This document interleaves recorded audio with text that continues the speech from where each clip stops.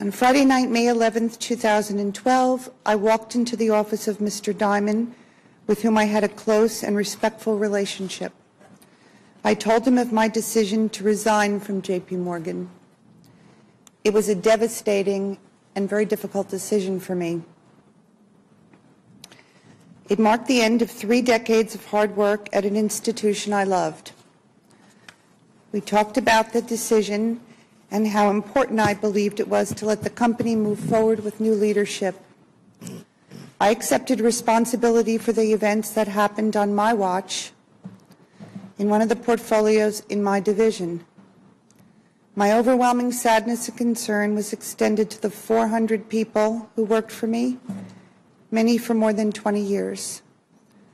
It also went to my colleagues throughout the firm who are now leading the company going forward. There were many people from the front office, risk, finance, and quantitative research who worked on and analyzed the synthetic credit portfolio.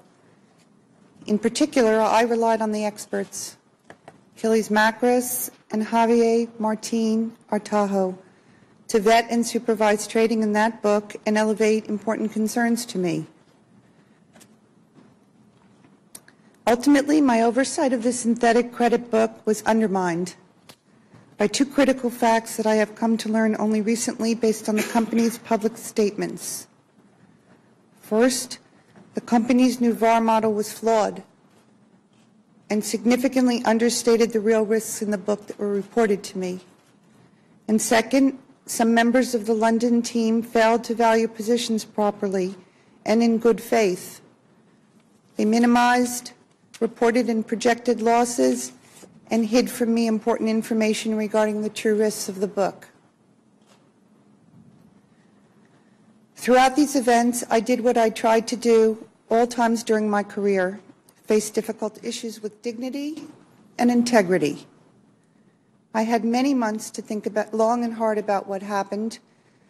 I don't have all the answers, but what I can tell you is that I always tried to do my best.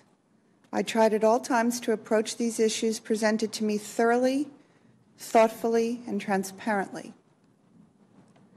Clearly, mistakes were made. The fact that these mistakes happened on my watch has been the most disappointing and painful part of my professional career.